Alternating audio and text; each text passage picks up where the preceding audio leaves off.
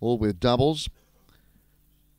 Gawler Greyhound Racing tomorrow. Again, a reminder Thursday night here, Angle Park. Heats of the UBET Adelaide Cup. Final coming up Friday, October 12. This is the Kurt Donsberg Photography Stake. Ready.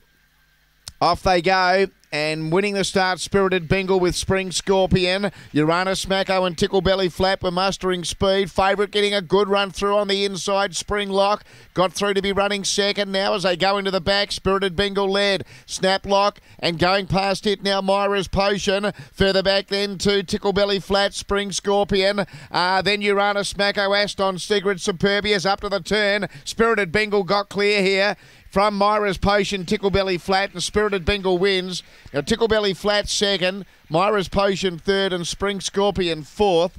Behind it, then Snaplock with Uranus Smacko and uh, Superbius. It was back towards the tail with Aston Sigrid. Spirited Bengal the winner. Number two. Number two, Spirited Bengal. 2573 officially. Spirited Bengal taking the last.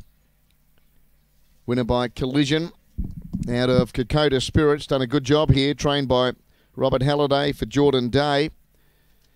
Five second. Tickle Belly Flat by Magic Sprite out of Bon Shoy for Don Turner. Seven third Myra's Potion by Kate O'Shea out of Witch's Potion for Kim Johnston. Three ran fourth. Spring Scorpion. Two five seven three. Thirty twenty the gallop. Four fifty four to the post. 17.20 to the back, home in 13 seconds flat. Three and a half by a head, the margins, three and a half by a head.